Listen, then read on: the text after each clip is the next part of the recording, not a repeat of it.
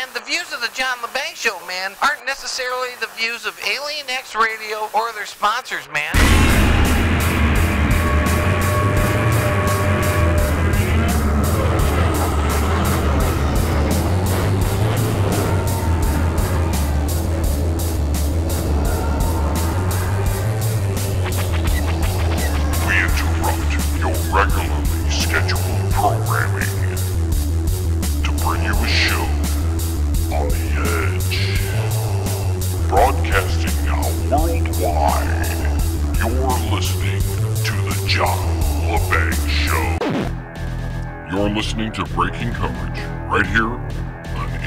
X Radio.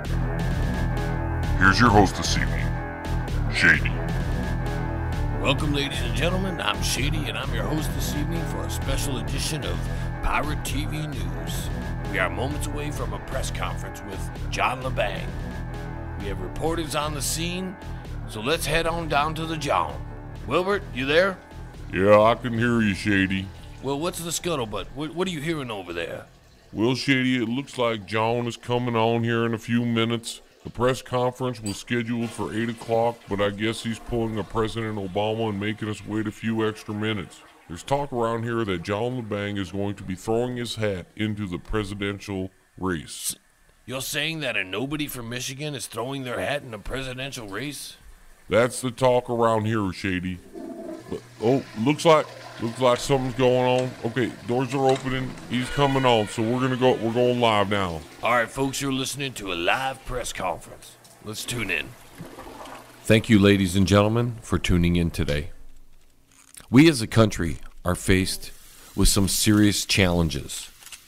Administration after administration and Congress after Congress, without exception, the American taxpayer ends up shafted. Whether it's a Democrat president working with a Republican Congress on a new trade deal, or when one party pushes through a bill forcing the people to buy a private product, the two party system doesn't work. Lying, secrecy, and payoffs are the norm in Washington, D.C., and most of the legislatures across the 50 states. Promises for cheaper health care, stable retirement programs, and a better education system have led to rising insurance costs subsidized by the taxpayer, a Social Security program that will be depleted of funds by 2033, and the most well funded education system that's struggling to be average. The war on drugs, on poverty, and on terror have failed miserably. Our intelligence, police, and tax agencies have been turned against us. The poorest and the wealthiest classes are feeding on the middle class. These once united states are now the divided, torn, and fractured corporate states of the elite and the entitled. Our trough of freedom has morphed into a lifelong debtor's prison. Your children's future now burdened with $18 trillion. And I, for one, can no longer stand by and do nothing. So today I'm announcing my candidacy for the President of these United States of America. You're listening to a live press conference. John LeBang declares his candidacy for the presidency of the United States. Could you give us the reasons for the sudden and unexpected announcement? Well, I figure that voting for Jeb Bush or Hillary Clinton is just as crazy as them running for office, which is just as crazy as me running for office. How will you fund your campaign? I'm not. Well, how do you expect to win? I don't expect to win. I'm asking the people not to send money to my candidacy. They should keep their money. They're going to need it after this election. But if the people do feel like they need to support me, just share my message with everybody you know. Let the people know we don't have to keep voting for the dirty scumbags that we always get. What specifics can you do to save our economy and unemployment? Well, that's a mighty haul, and I don't have all the answers right now. But what I can say is the first thing we need to do is to get the money back in the people's hands. Beyond giving the people back their money, reducing our foreign spending would be a priority. Ditzy Stupor here. Which is more patriotic, paying taxes or taking advantage of government prescribed credits and deductions? Neither one is patriotic, the way I see it. Is Social Security an insurance plan or a welfare plan? Social Security is a Ponzi scheme. What it is is a scam, which benefits some and hurts others. Next question. How will you balance your actions to pay down the national debt with current spending on entitlement programs and military and future plans to spend on job creations and health care? If we keep things the way they are, the debt will never go down, perpetuating the burden on future generations. If we want to get serious about this, we have to look at the problem. And the problem is the Federal Reserve System. And I propose we go back to a constitutional standard. People are living longer. Should that be the sole criteria in increasing the retirement age? No, not at all. And in fact, why is government the one who decides what your retirement age is? Shouldn't it be you as an individual? I'm proposing gradual but strict changes to the Social Security program. My plan is simple. What you put into the Social Security program, you get out. If you don't put anything in, you don't get anything out. If you put into the system, you get back from the system. And if you do not wish to participate in the system, you may opt out. On a broader scale, no government program will be mandated. No government program funding will be compulsory. All programs will be reformed under a voluntary system. If you want to be part of a program, then you pay into that program. If you wish to opt out, you opt out. You only receive the amount of benefits you pay for. Next question. How will you pay Social Security to the baby boomers? By some of the latest reports, Social Security will be out of funding by 2033.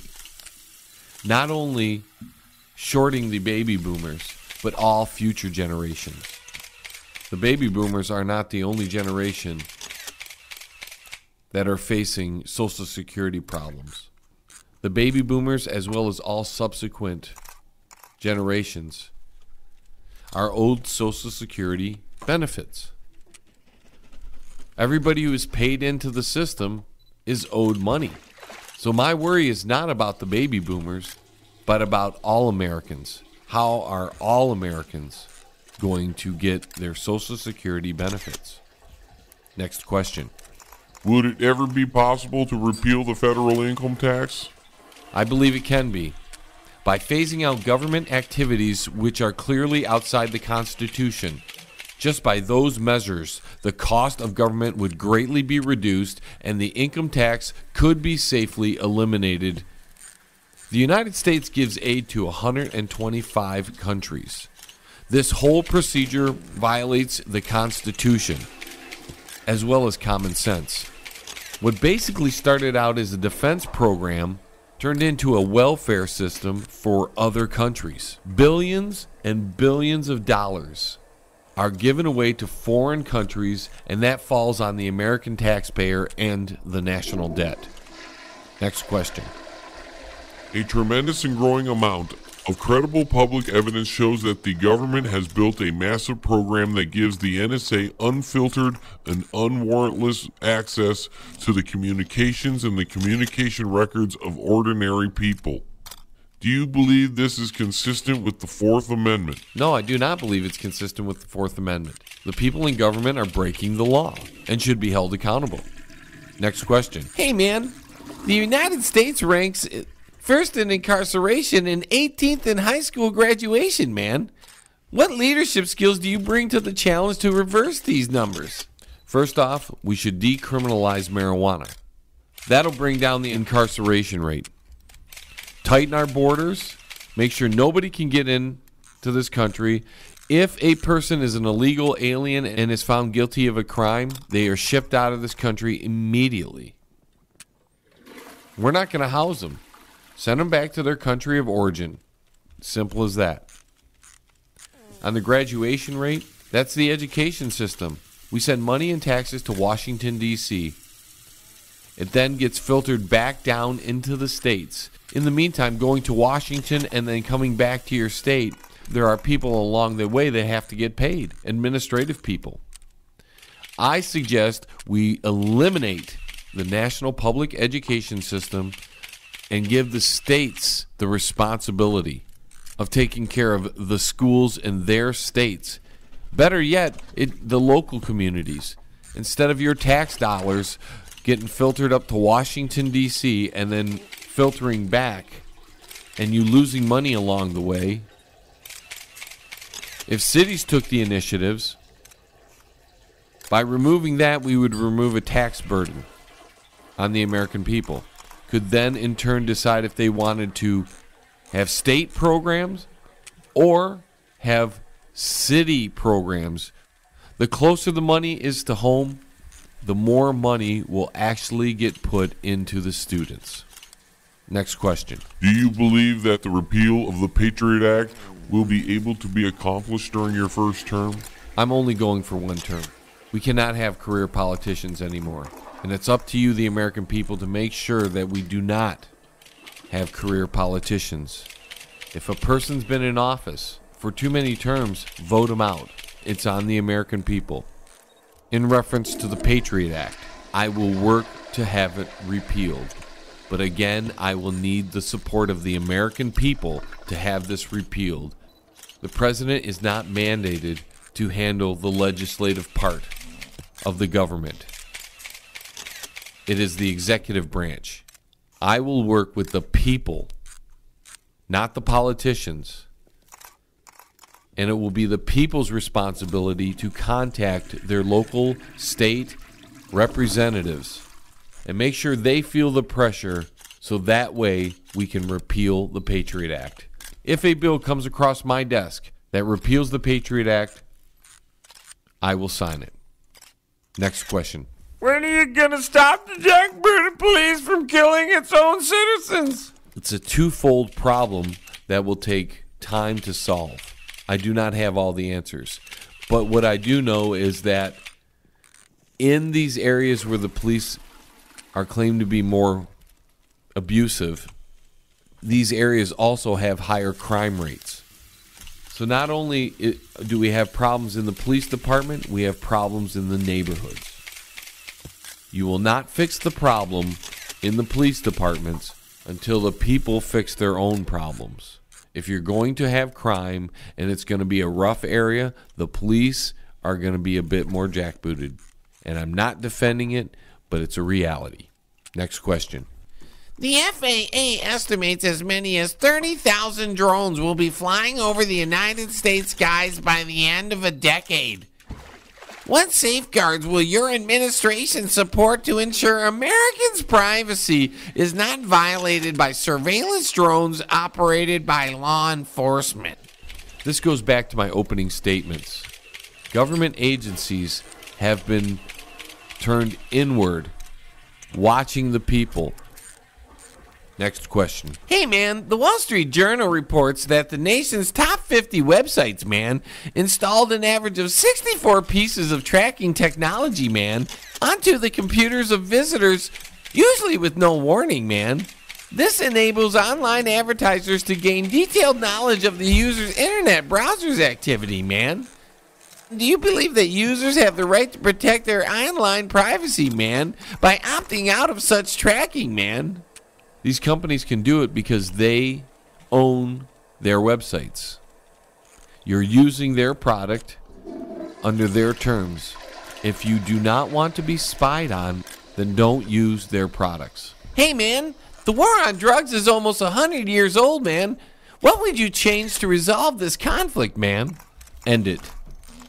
It's been an utter failure. Why are we making criminals out of good, outstanding Americans who use marijuana, man? The incarceration rate here in the United States is the largest in the world. It's about time we changed our policies and stopped making criminals out of people who smoke a little marijuana. You're listening to a special broadcast of Pirate TV News here on Alien X Radio. John LeBang live press conference. He has declared his intent to run for President of the United States. Do you agree that we best honor the Second Amendment by honoring all the words of the rights and the responsibilities in it? A well regulated militia being necessary to the security of a free state the right of the people to keep and bear arms shall not be infringed. I do agree with that. And in my administration, I'm going to encourage all 50 states, as well as the people in those states, to begin organizing local militias under U.S. Code 311. Next question. Do you agree that we best honor the Second Amendment by honoring all the words of the rights and the responsibilities in it? A well regulated militia being necessary to the security of a free state, the right of the people to keep and bear arms shall not be infringed. I do agree with that. And in my administration, I'm going to encourage all 50 states, as well as the people in those states, to begin organizing local militias under U.S. Code 311. Next question. All right, ladies and gentlemen, we've got to take a quick station timeout, make our affiliates some money right now. But don't worry, we'll be coming right back with more live coverage of John LeBang declaring his intent to run for President of the United States. Stay tuned.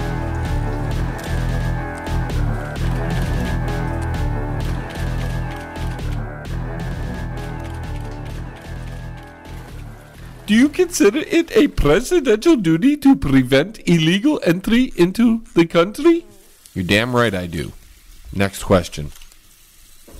Yes, other than standard sound bites of more money and hiring more teachers, what specifically would you do to enhance and improve the American education system so that we can better compete on a global scale where countries routinely spend half as much as we do per student, also routinely outperform us in math, science, and literacy tests? Well, I would take the federal government out of it, as well as the taxes that come with it. Then it would it would fall to the states, and it would be the states to either implement state education programs or refer it down to counties and cities. That will free up a large chunk of money that is currently tied up in administration as it travels up through the chain from your paycheck to Washington, D.C., then back down the food chain into your local community. My goal is to eliminate that middleman, which will free up more funding for the local communities without costing the taxpayer any additional cost. That will also keep these school districts more accountable to the parents of the, the children. And the criteria would also be not of a national level, but of a state level. Next question. Yeah, I have one more question. Has socialism or collectivism worked anywhere in the world? It has not. In fact, the militant forms of socialism, such as communism, fascism, and Nazism, have caused more wars and shed more blood than any other system of government in the history of the world. And even the so called peaceful forms of socialism, such as democratic socialism and Fabian socialism, have proven counterproductive and have continuously crept along the razor's edge of perpetual bankruptcy. The thought that the American taxpayer has sent over hundreds of billions of dollars in foreign aid trying to help these socialist nations survive tells us all we need to know. And now the United States is bordering on bankruptcy ourselves. Socialism sucks. Hi, John. How do you bring about world peace? It's not my job to bring about world peace. If I'm elected president, my job is to protect the American people. And have you ever noticed that the people who claim to be for world peace bomb you into that peace, kill you into that peace?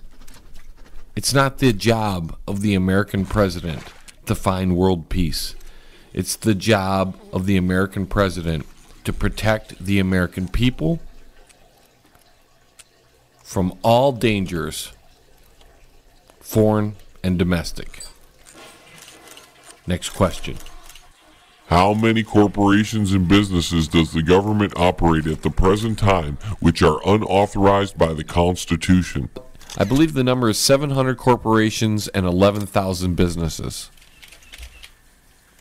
Next question. Hi, John.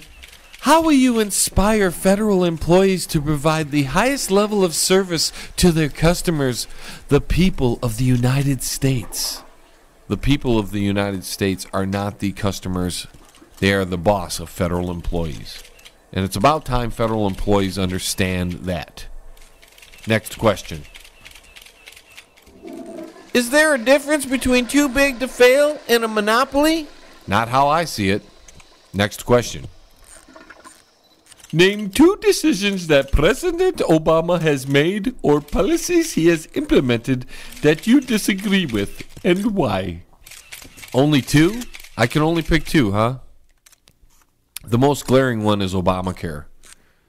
First signing a law that was completely and utterly made with backdoor deals, and then allowing the Congress to use reconciliation to pass the law, and then signing it when reconciliation was never used outside of a budget issue. And then the second one is the NSA spying, completely violating everybody's Fourth Amendment rights. If I had to pick two, those are it. Next question. What do you plan to do about the bacon shortage? Kill more pigs. Next You're listening to a live press conference. John LeBang declares his candidacy for the presidency of the United States. Hey, man, what's the difference between lobbying and bribery, man? Not a damn thing. Next question. Hi, John. I would like to know when something is going to be actually done about deadbeat parents that get away without paying child support. Well, the problem doesn't lie there. It actually lies with the fact that the family has been destroyed. There are way too many single mothers out there, and there are way too many baby daddies out there.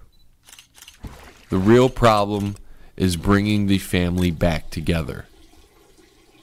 If we can do that, we won't have these deadbeat dads who have child support payments. We will have good, strong families. That begins with choice.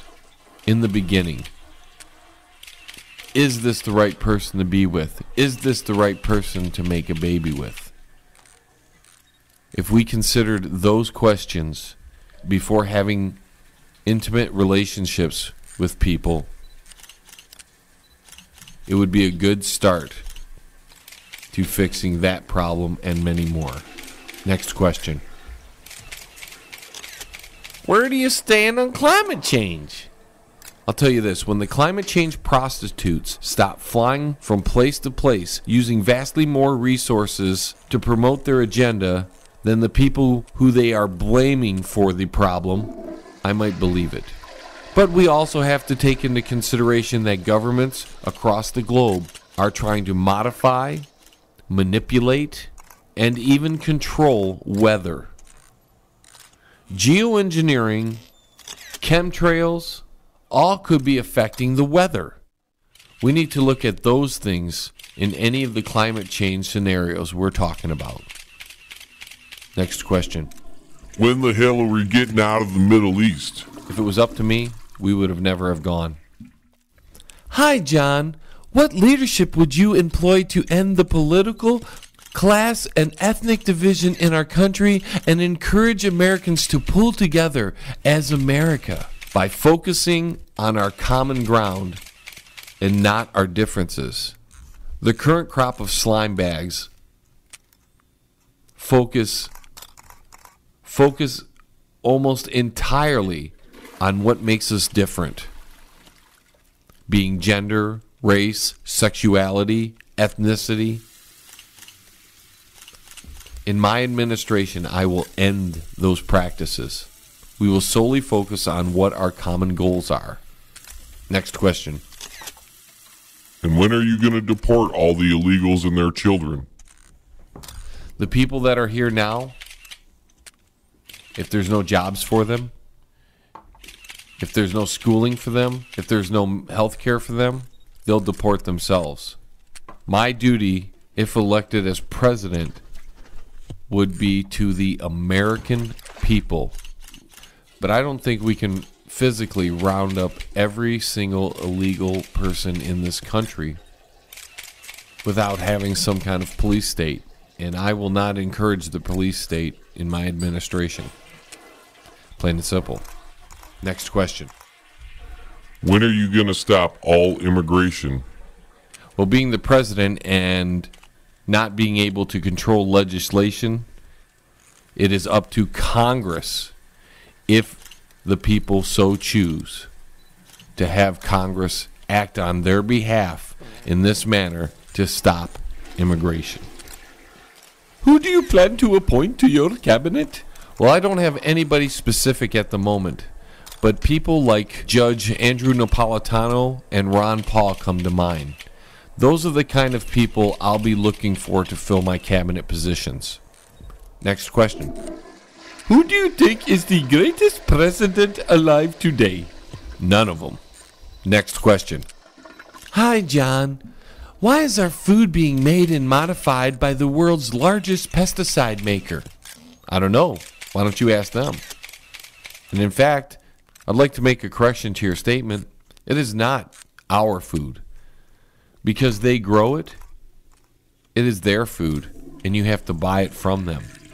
So whatever they put in their food, you have to deal with. I propose that all Americans learn how to grow their own food and become self sufficient. That way, the power of this pesticide manufacturer will be nullified. If you don't buy their products, if you don't eat their food, they have no power. Next question. You're listening to a special broadcast of Pirate TV News here on Alien X Radio. John LeBang live press conference. He has declared his intent to run for President of the United States. Will we, the American people, ever become a priority to our elected officials in Washington instead of a passing thought? Well, in my administration, we're going to focus solely on the people of this country. They pay too many taxes. Next question. Would the repeal of the 16th Amendment interfere with defense and other legitimate federal responsibilities? Nope. Tariffs and other sources of federal revenue would be more than adequate for the legitimate expenses of the federal government. If all the unconstitutional expenses were phased out, we might actually have a surplus. Next question. Would you sign an order making it unlawful for an elected official to pass legislation without having read it? That power remains with the people. If I'm elected president, the only two executive orders that I will sign will be as follows. The first executive order will repeal all prior executive orders. The second executive order will make it illegal for the president to sign executive orders. Next question. Hi, John. What will you do to slow or reverse the concentration of wealth and power currently threatening our very democracy? The United States is, was founded as a representative republic, not a democracy. And the concentration of wealth and power is a result of the country moving left through democracy into our current state, which is socialism. Next question. What steps will you take to protect and defend traditional marriage? Well, if I'm elected president, it won't be up to me to protect or defend traditional marriage. It would be up to me to administer the laws of this nation. The greater question is why do the people ask permission of the people in government to get married? Why do you seek a license to get married? If you love somebody, does getting a license change anything? It makes you legally binding according to the government. Why do you ask for permission to get married? What does the government have to do with you getting married? Getting married isn't like driving a car on roads that is funded by that is funded by taxpayer dollars, where we all have to drive, you know, you know, know what we're doing on the road. Getting married is not like that. Getting married isn't about like flying a plane. Getting married is between two people who love each other. Why do you have to ask permission from the government? Why do you accept the fact that you have to ask permission from the government? But since you do, since but since the American people have agreed to allow the governments to dictate what marriage is, to grant permission to marriages via licensing, then the governments are going to set boundaries, set the rules for what it takes to get married. And if that means marriage in a state means man and a woman, but since the American people have agreed to allow the government to allow licensing for marriage, the government, which is voted on by the people, and the laws are created by the people, then whatever a state's preference in marriages, whatever parameters they set, as with driving, you have to be a certain age to drive. As with driving a semi truck, you need to have a special license. Same with the plane, you have to have a, a pilot license.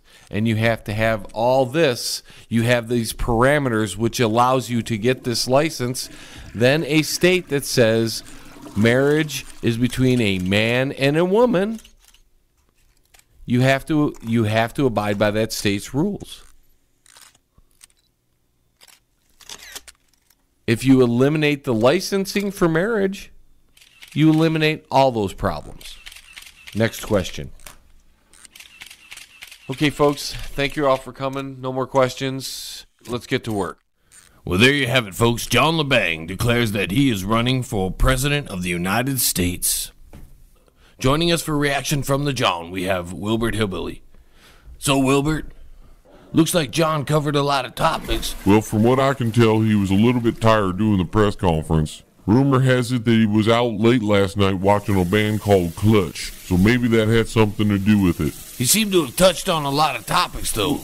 He covered everything from education to corruption to the Constitution, the military, the police state.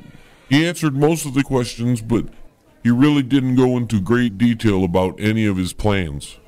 I think the overall scope is that he was talking about individualism over a socialism and getting back to the Constitution and freedom. That that was my take on the uh, that was my take on the conference. That was mine as well.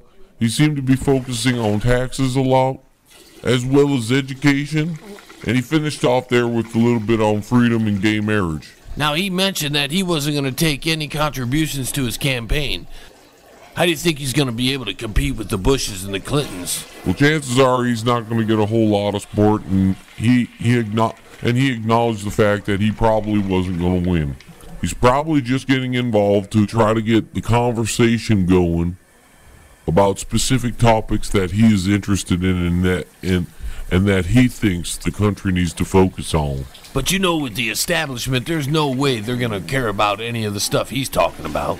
Well, I agree with you there. That you know the way thing we just saw that the Democrats and the Republicans are working very well together on that Obama trade thing. It's and it's highly unlikely that the American people are going to stray from the same old, same old. They've bought into the two-party system, and more than likely that we're going to see another Bush or Clinton in office. Well, there are other people running out there, but nobody with the name recognitions of the Bush or the Clintons. Well, that's true, but still, John will not stand a chance against any of the establishment candidates. I believe this is just a statement for the man. I know he loves his country, and I know he cares about what happens to the American people. But you and I know if you're not going to put any money into your campaign, you ain't going anywhere. Well, that that's true because you can't rely on that social media. Not like anybody's going to share your information or anything.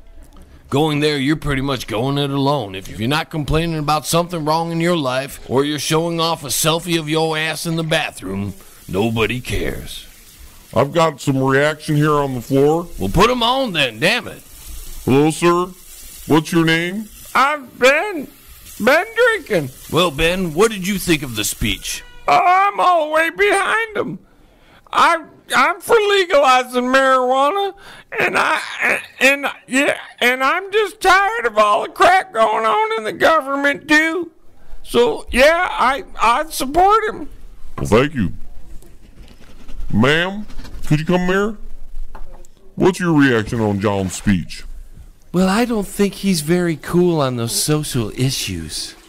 He's not a very sensitive guy. He seems to want everybody to carry their own weight. And we can't do that in America. Thank you very much. Hey man, what's up? What's your reaction over the speech? Oh man, I'm way behind him, man. Man, he wants to decriminalize marijuana, man. That's really cool, man. And he wants to kind of stop the cops from being jackasses, man. So I'm all for that, man. It's really cool and all, man. Are you going to vote for him? It's, there, I might, man. I don't know. I've got to see what else he's got to say about other things that I didn't hear him say anything about, man. Okay, well, thank you.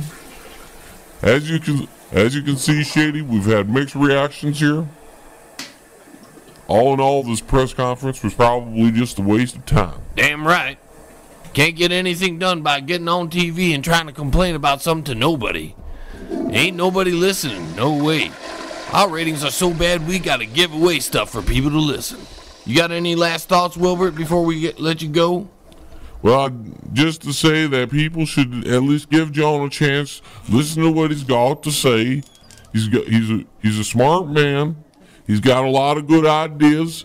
Although I don't think he'll have enough support to reach the presidency, it's very possible he can plant a seed in people's brains, and his ideas could grow inside people. All right, Wilbert. Well, I appreciate you coming on. Thanks for all your help. No problem. We'll talk to you soon. All right, ladies and gentlemen, that's it for the special coverage of John Lebang's press conference as he declares his candidacy for the presidency.